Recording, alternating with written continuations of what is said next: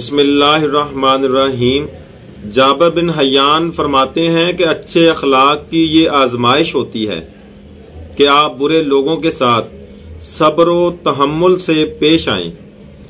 बहुत से मर्द अपनी बीवियों के आने वाले नए शोहरों के लिए जखीरा अंदोजी करते हुए नज़र आते हैं।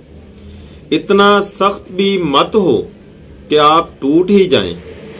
गुनाह करके अगर तुम तौबा करते हो तो इससे बेहतर है कि तुम गुनाह ही मत करो।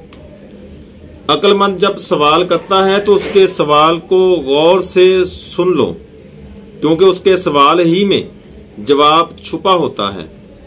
तुम्हारा राज दुश्मन तक कभी नहीं पहुँच सकता, जब तक तुम अपना राज अपने दोस्त तक नहीं पहुँचा देते। जब तुम अपना राज खोल देते हो तो तुम उसके गुलाम बन जाते हो।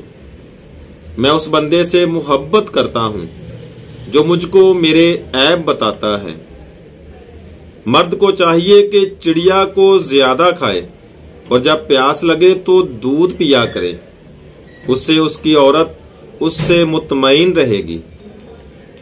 हिकमत का आगाज़ हिकमत की आरज़ू करना है।